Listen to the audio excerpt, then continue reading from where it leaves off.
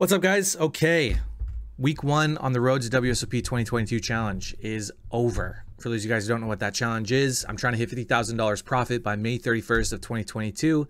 If we hit 50K, I'm going to Vegas for a month to grind the World Series of Poker and all the other good tournaments going on during the series. This is, of course, assuming that the World Series of Poker is happening or being reset to next summer. Nothing's official yet, but I'm just going to take a wild guess, assume that it is, and we'll start gunning for this challenge starting you know October 31st. So week one has gone pretty pretty well. Uh, four of the six days that we grinded were profitable. The two days that weren't profitable weren't so bad. Uh, this one was a little bit rough. We should have been down a lot more, but I had 15% of a friend of mine uh, who banked a tournament, so the losses were padded. This one, of course, should have been a lot more too. But as you guys saw, if you were hanging out during the UFC hangout, uh, I won about $400 betting on fights for the um, pay per view in Madison Square Garden. So pretty good first week. My expenses weren't too too bad. Um, luxuries. This is uh, I ordered pizza and then I also went out for dinner and a movie with uh, my brother and his girlfriend and um, subscriptions shouldn't be too too bad. Uh, I have an educational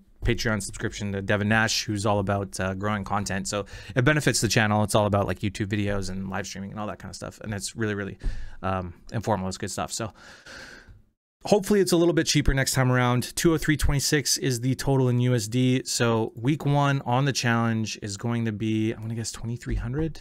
2800 so pretty pretty nice. We're what like 60% of the way there already on week one. Seven months are going to be swingy. So there's going to be some losing weeks but hopefully hopefully we have significantly more winning weeks as i continue to focus and you know own hone my skills at the poker tables. The big um, focus is going to be on icm in these seven months because i definitely should have banked a couple of tournaments last week but it's all good. It is what it is. Not bad. Week one. Let's go